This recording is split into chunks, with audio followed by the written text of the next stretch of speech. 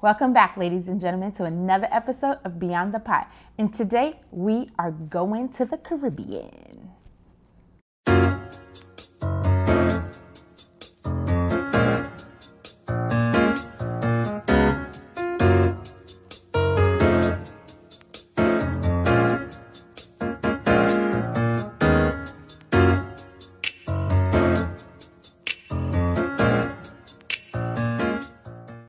Hey, y'all, and we're back with Beyond the Pot. If you have not already, I need you to like, comment, share, and subscribe to this channel.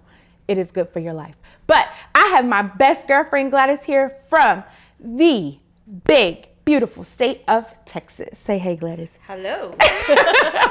Gladys is one of my best girlfriends, but she's like my big sister. Um, and she came to visit. And I'm so excited that her and her husband, TC, say hey, TC. is here with me today. And Gladys is Cubano. So that's why I said we're going to the Caribbean today. So she's going to make a dish. I'm going to make a dish with her. She's not going to make a dish with me. I get to cook with her today. So she gets to walk me through this whole process of what? We're making today? We're making picadillo Oh. with ensalada de aguacate and tostones. I don't know what all that means because that's Spanish. So picadillo, I could say that. And then avocado salad and fried plantain. That's it. Okay, so picadillo is one of the favorite dishes of uh, the Cuban people. It's actually a dish that's done in a lot of Hispanic countries, but we're really, really fond of it. Um, the origins are actually Cuban food is a fusion between Spanish food and African influences. So you'll see a lot of um, influences of Spain, as well as a lot of things that are native root vegetables and things like that. But today we're gonna start what we what we call the Holy Trinity for us Cubans. It's always gonna be your green bell pepper, your onion, and your garlic. Okay, so if you ch- start chopping up that onion for me, Onion, you got it. we'll get to it. Now, Krista, I met Krista cooking at Kids Across America. Woo She has a very distinct way of cutting her bell pepper, and I've never been able to achieve that. So I'm gonna cut it my way. That means she, I usually would take it and cut all the way around to get the core out. And she's like, Chris, I still can't get it to this day. And I'm like, it's okay. Cut it how you want to. But I do remember not, you know, you cut the veins of the pepper because they tend to be kind of bitter. Mm-hmm. So I always do that. How am I cutting this? Am I cutting in dice? You're dicing. Okay, I can do that. And you just, you actually, you just cut that the way you prefer. Some people don't like chunks of onion in their food. Um, being that it's the base of all Cuban food, we actually, of course, don't mind it. Okay. So um, just do it, for, you know, what your particular taste is or your family's taste is. Do you mix it all together? Like I can mix it all together in one bowl? You can. Okay. Um, so the process of when we saute our veggies or our trinity uh, is what we call sofrito. Um, sofrito just basically means stir frying in a pan, but in other countries, just so that you don't go out and buy it in a jar, so sofrito will have a tomato base added to it or an mm-hmm. achiote base added to it, which is kind of a colorant. I learned something new today too. She was telling me because I was like, "Oh yeah, sofrita, you blend it up in the blend." She's like, "No, you don't have to do that." so I was like, "Okay." So we tend to do this in Spanish. We double use a word to mean different things, but it sounds the same. So sofrito can come in a jar for some nationalities, but sofrito is also the process of stirring, stir frying together in olive oil or of oil based any types of vegetable. Um, frito is a word to fry, so your sofrito just means you're stir frying your Nice. base or your veggies. In this Getting educated. Y'all are getting educated here. So yes, this is what we're doing, just our veggies. Okay. And what's these things over here? Okay, these are I- other do I need to cut these? Yeah, well, yes. Okay. Um, but they don't go in until the end of, Okay. of our dish. So uh, this is what we call a pimiento morron. It's basically a smoked bell pepper. Um, I can tell you the process is they actually char the outside of the bell pepper. The Should I red cut bell these? pepper. You can. Okay. Um, they actually smoke it and then skin it. And this is what it comes in. You'll you often see the stuffed. I'm sorry. You'll actually often see the stuffed in the side of olives. Um, Yes. Olives are also a very basic staple in Cuban cooking. These are manzanilla olives, um, and there's a regular green olive, but it's stuffed with the same pimiento. We use um, the olive a lot in our cooking, and the juice of the olive actually. So you have to be very careful when you season your Cuban dishes because They're of salty. course they're salty. The Yeah. olives are salty. So we're gonna use those, and then we will also be using oregano, mm-hmm. cumin or comino, as we call it in Spanish, comino. We're gonna use, we're gonna reinforce our veggies or the flavors in our veggies with our dry ingredients and our dry spices. Krista knows dry spices are always more concentrated and the flavors Yes. are stronger. So I also, even before I knew you, ma'am, like to layer, like to layer my flavors as I go. So I layer with Hashtag season and layers. You yeah, know what I say. layers for sure. um, especially after you already added your liquids, you lose a little bit of the strength Yes. of the flavors. So you want to reinforce with um, dry spices. Sherry. Here comes another part of our Spanish influence in our food. Cooking sherry. This dish can be made with red wine, white Mm. wine, or cooking sherry. I just happen to be partial to the flavor of sherry. Nice. So um, I like to use that. And then we're gonna use a mixture of tomato puree or tomato sauce, whichever you prefer. I like the thickness of the tomato puree and the tomato paste because it helps to thicken.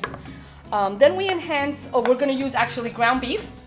I like to use a 90-10 ratio just because it's a lot lower in fat and I don't like that grease sitting on top of my picadillo. Yeah. And um, I strengthen the beef flavor and extend my liquid with beef broth. Sweet. So, So, pretty easy. it's some simple ingredients. I had all these at home except olives, right? Yes. Oh, and the pimientos. Yes. I had everything. So So- it's not hard. Like it's not a lot. Oh, I don't have these ingredients. I gotta go find them. Go to Walmart. Go to Publix. Your Kroger. Wherever you have. Yeah. You'll find them all. Absolutely. And nowadays, even um, something like a plantain, which was what is going to be one of our accompaniments or one of our side dishes, they're actually easier to find. You can even find find frozen. Yes. If you don't want to go through the whole process of making tostones or making the, any type of plantain, you can, you can cook it several ways. A lot of times you can find them frozen in the frozen sections. Mm. Ooh. Well, let me put these over here because that don't. That's not the sofrito. Yeah, so this is our sofrito, and she, I was talking, so I'm not good at multitasking. It's okay. And cutting. So my pepper's not cut up, but all cut up. But It's that's okay. basically what we're gonna do. Use. We are on our way to the stove. Soon she cuts up this pepper. So what are we gonna start with? Okay, so we're gonna start with our Trinity or our Okay. sofrito. I always like to start with the bell peppers. It just takes a little bit longer for them Yes. to cook. You hear that Oh. sizzle, Josh?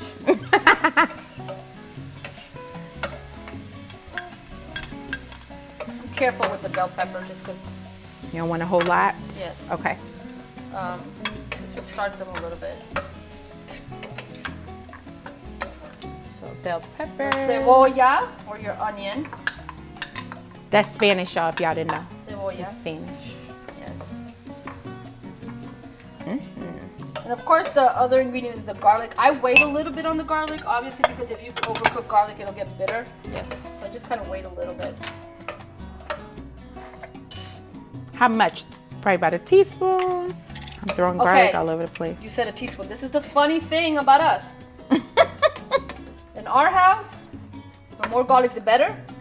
So I don't do measurements. Obviously, I grew up cooking, so I don't do measurements. I would start off with a nice hefty teaspoon, something like that. Ooh, that's a lot of garlic. So garlic, garlic, and I might add more. But um, you know, I mean, that's relative to you, what your taste, your palate is like. You know, we happen to be garlic lovers Mm-hmm. in our family, so it's good for you. also, Amen. so I like to use it. But um, yeah, that's fresh minced garlic. Yes. So about a teaspoon of that would be good. Nice hefty teaspoon. Um, you just kind of saute that, and then once this gets sauteed down and it's nice and translucent, Mm-hmm. then you start adding your beef. Translucent. That means when you can kind of see through your onions. Okay, so now that this has been cooking down, it's fairly translucent, we're gonna start adding our ground beef. I kind of tear it up as much as I can. Mm-hmm. But you can also separate it once it's cooked, obviously. It's less work if you do it like this. You're so good. I don't have the patience to do that. I just put the whole pack. I'm on camera. She's trying to be nice for y'all. Yes. and most of Cuban cooking actually, um, it could be actually a lot of work or a little bit of work. 'cause Some of our other very um, popular dishes or things that we cook often do require a lot of work, like um, ropa vieja, which you have to shred flank steak. Um, but we use a lot of pork in our cooking. I just happened to do a beef dish today. But we literally, like that saying, the rooter to the tutor. Yeah, Cuban people, Pork. people from the Caribbean, I like pork. Yeah, we cook a lot of pork and a lot of we use a lot of root vegetables like cassava in English or yuca, the plantain, uh, boniato, malanga, a lot of different root vegetables. stir while you wash your hands. Yes, and that's a lot of what we do. Um, that's a lot of our African. Okay, so we have cooked the ground beef, and because I bought a 90-10, there really isn't a lot of grease or even broth. We cooked it down pretty well, so that's good because we don't have to worry about draining. I'm gonna start by adding our tomato puree first. Do we need to turn this on? Yes, Turn it I on. I really thought I did. So I'm gonna ask Glass a question because this is what I've seen. When I've seen picadillo, I always see potatoes in it, and I was like, Glass, we need potatoes. She was like, Uh, no. so explain the whole potato thing, no potato thing. Okay, it's just regional. Really, some people just um, ate it ate it with potatoes, depending on what part of the island. Actually, the biggest difference in picadillo, I think potatoes is more of a Central American thing. Ah. Um, but the real big difference in the in Cuban picadillo is, as far as regions are concerned, is the difference between raisins and olives. Mm. So there's a particular part of Cuba which is um, they use raisins in That's their cool. picadillo. I am not a raisin fan. and um, I don't like the texture of raisins. That's good. So even though I know that a lot of people use raisins, I've never used raisins. And if I ever went to somebody's house and they had raisins, I would pick them out. I was Okay. that kid. So yeah, I think it's just a regional thing. Okay. Okay, so I've added my tomato paste, Mm-hmm. kind of thick, kind of binds everything together. And I'm gonna slowly add tomato puree. There is not a lot of difference between tomato paste, I mean tomato sauce Mm-hmm. and tomato puree. I just like tomato puree. So you can use tomato sauce in a can. Absolutely. Okay. Absolutely. Cool. Just happened to see this one uh, when we were buying ingredients, and I like the tomato puree. Okay. Now I don't. I keep my can. I don't know if that's the Cuban in me and how we make use of everything we can get our hands on, but I keep it and I put my broth in there. To Oh, get that, tomato. extra out of Yes, there? yes. Uh huh. I feel you. I feel you. I'm mixing everything, making sure that that tomato, the tomatoes are very well distributed. How much Okay, now the, okay, I learned to cook from watching.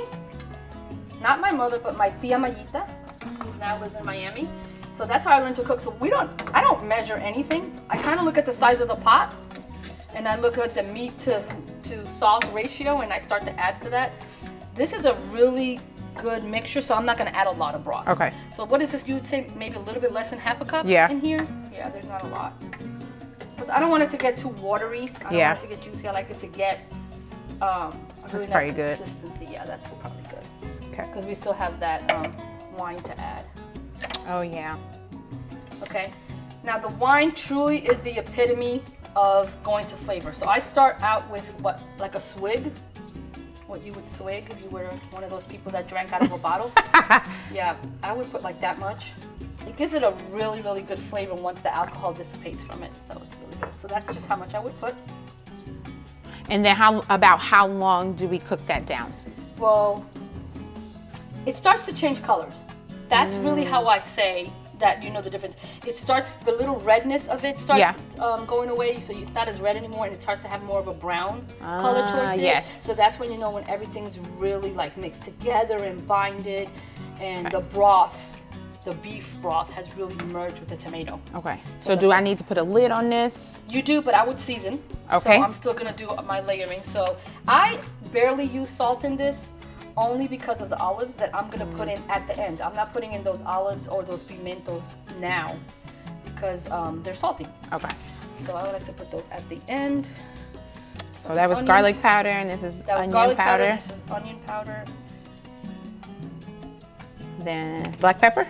No? Yes, very Yeah. little, not a big pepper. So you're gonna notice if you guys are not familiar with Cuban cooking or Caribbean cooking, uh, a lot of people are only familiar with Central American, so mostly Mexican cooking. Our flavors are nothing like that. So we don't use a lot of pepper in our Okay. um, our fla- our flavors are very flavorful, strong flavors, but not spicy. Okay. The one thing we have in common is cumin. We do use cumin. Cumin is very strong. One of my favorite seasonings. Yes, it is absolutely my, one of my favorites too, but it's very strong, so you Yes. have to be. Careful. gentle with it. yes. And I learned about not over salting my food from Krista. Yes, because Gladys has a very heavy hand. And I've learned the older I get and the higher my blood pressure gets, the less salt I use. I'm trying, y'all. I really am. so I'm measuring. Something that I left off your original ingredients list, but is a very important part of our food, is what we call laurel, hojas de laurel, which Laurel. is bay leaf. Okay? Dried leaves. Yeah, just dried dry leaves. You can find them in the seasoning part. If you um, don't want to pay a whole lot of money, get them in the Spanish Section. se- Spanish section of the seasoning aisle. If that makes sense. Um, And they can be dried. They don't have to be fresh. Yes, absolutely. okay. I've never, I've never used the fresh. Oh, okay. The chef here probably has used the fresh one, but I'm a home cook. so that's it. That's it. So we'll We're- let that cook down. We're gonna let that cook down. I would probably check it in about 10 minutes. Okay. You can cover it because you know everything cooks faster when you cover it. Well, I have some rice going. So. Okay. And then we're gonna make some Ensalada aguacate and some tostones. ah to go with this. Yes. Okay, so now we're gonna make our ensalada aguacate or avocado salad. Avocado salad. um, a lot of avocados. We eat a lot of avocados, but we eat it quite differently than most people are used to seeing avocado Ooh, that's beautiful. like um, you got some peppers on there. Yeah, I have some. We didn't wash my our knife off. Whoop. I'm scared of this knife, y'all. It's a real fancy knife. Yes, so a lot of people eat guacamole. Um, avocado is guacamole. The first time I met my husband, he was upset because we met working in the kitchen, and I used to eat the avocados like fruit. so that's how we eat them. It's it's a fruit actually. Avocado is a fruit. So we do this. We make an avocado salad as an accompaniment to a lot of our dishes. Um, we cut it like this, and then we just cut it in hunks. Okay. Traditionally, we don't use our avocado is different. We use a Florida avocado, is what they call them here. They're like this Really big. Yes. They're super super green on the outside. And they're a little bit more. I want to. I really the only way I know how to say it is they're a little bit more watery. If that makes sense. They're not as dense as an uh, Hass avocado, but people are used to Hass avocado, so we've ourselves have adapted and we use either one. Okay, You get more, obviously. You get more out of our of a Florida avocado if you can find it. Other than Florida, they actually have it in Texas now at Walmart. Yeah, these are perfect. we really did a good We job. did a good job. You did a good job. You picked these at the store. Yes. I wasn't there.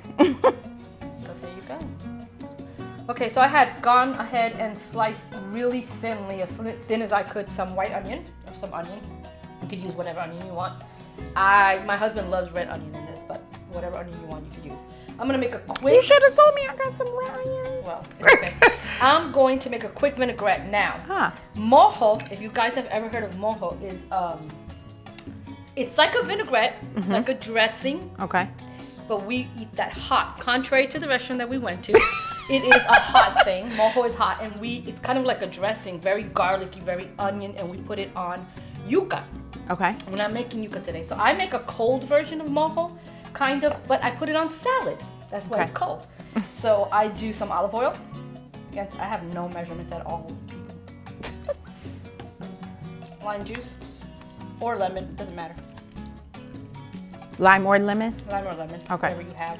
I have a I would use lime. I like lime. So do I. I like the flavor of lime, so that's why I use that. Some salt. Now I'm gonna make this over. I'm gonna have to make this over with some red onions because I really love red onions. Yeah, because we went to a Cuban restaurant and she was like eating those pickled I red- love them. so so good. What's that? Garlic powder. Garlic powder, onion powder. I didn't have any pepper here. You could add pepper if you want. Okay. And you just make a light vinaigrette. Oh, Taste perfect. Lemony vinaigrette. Um, I love to emulsify this. So you could do like a hand mixer Yeah. or a Ninja. It works great in the Ninja if you want to emulsify it. Okay. If you're gonna do it in the Ninja, it's great to emulsify it with some onion. Like puree the Oh, onion in there. Oh, that probably be Really real good. good. It's like an onion vinaigrette. Yes. It'd be real good. Now this is how Gladys tastes. I love it. Yes, it's pretty perfect. Nice. Let me just pour that over Pour it over that. there. We're not gonna pour it right now because we don't wanna. Okay. So we'll just put that to the side and then we're gonna We're check. gonna move on. To Are we our- checking picadillo first? We're gonna check picadillo. We can. Okay, yeah, sure. let's check out picadillo, see what it looks like, and then we'll come back and do tostones. Okay, this picadillo is bubbling. Ooh, it looks good. And the house smells so good, guys. It smells like my growing up. that garlic and onion and. I can't wait to eat. So I'm gonna add in olives. Again, I know in this home, certain people love olives. Mackenzie loves olives. Even though she did tell me today that she is particularly fond of black olives. Yes, she is. These are some green on green olives, pimento stuffed. My opinion is the more the better. You do that to your choosing, but it does, it is very much of the part of the flavor palette of this dish. Add those in there. Would you put black olives or stick I- with the green ones? I've never seen black olives in here, but you know, Cubans left Cuba so they could have freedom from a communist country. So I guess if you wanted to put some black onions, you would, but I wouldn't recommend it. Oh, this looks so good. It's a very hearty dish. It, this is like our soul food. This is like our comfort food. You know, picadillo is one of those dishes. Then the pimiento morrones. So pretty. It's the colors are amazing. There you go. You just mix it all together. Mix it in there and let it simmer a little while more. And those um, flavors are gonna marry. One of the things about this dish is tomorrow it's gonna be 50 times better. It's gonna be so much better because um, like those kind of dishes, there's dishes Like- that just are better the next day. This Like is- tomato sauce. Yeah, Like when you make one of them. homemade tomato sauce, Italian tomato sauce, and it sits, it's gonna be good. Okay, so we're gonna make our tostones. Plantain is integral in Caribbean cooking. They eat it everywhere, and um, a lot of Africans eat it as well. We cook it and eat it in any way we can, however we can get our hands on it. So um, we call them tostones when they're green, like this. For those who don't know what a plantain is or have never had one, it does not taste like a banana, even No. though it looks like a banana. And the green banana, when it's green like this, that's when you make tostones. It's a salty version of the plantain. If you get it where it's like black and yellow, the blacker the better. anyway, the blacker the better. Um, that's when you it's very ripe, and that's when you eat um, maduros. Was what we call them, plátano maduro. So kind of get the hang of it. That's like fried plantain, like fried plantain. Okay. Yes. So. You know, all the this is this part like you just gotta get dirty with it. You just gotta do your hands. I mean, some people Okay. cut them with the knife, but I don't cut them like that. I didn't buy too many. Like for an average family in our culture, we probably have like six plantains to Good make a lot Lord. of tostones. but um, they're trying it for the first time here tonight. so- yes. And you know those Jules kids are hard. Hard to please. Yes, they're used to this gourmet meals and such. So um, I'm very, being very careful of go. Justice's review of my plátano. Okay, so I cut these and I put made you know some longer than others, but the thing about tostones is that you only half fry them. Really? Yep. Okay, wait. You half fry? Yes. So you don't fry all the way. then we're gonna remove them. We're gonna pound them. And then fry them again. Flat. Yes. Oh, it's like plantain chips. But not as thin. Thin. Okay. Yes, like if you were gonna make plantain chips, we would take these same the same plantain, Yeah. cut it like in a, in a mandolin to make it Super thin, as- super thin. Okay. thin as you can. So let me get these. Sorry. So you just gotta these you have to really look at because you don't want to overcook them before you pound them to put them back in. Oh.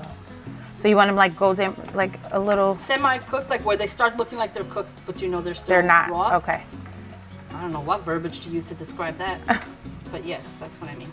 So what are we gonna do to pound them? Just like uh, Okay, so smash them? if this was a Cuban or Caribbean household, you would have something called a tostonera, Tostonera. which is a tool that was developed to actually hit them yourself. But Is it like the when they make tortillas? But it's tostonera. it's different. It's Okay. like a two pieces of wood with a spring. Uh, I know what back. it is. Yeah. Okay. But um, the old-fashioned way, I mean, my, my grandmother didn't. My mother and my grandmother didn't have tostoneras. They have them now. We used whatever we had in the kitchen. So that's Yes. kind of like what I'm gonna do here. Those look so good. And plantain, to be honest with you, you either love it or hate it. I love plantain, best tostones I ever had were in Puerto Rico in the rainforest. It was so good. Oh, You're not in even the filming, are you?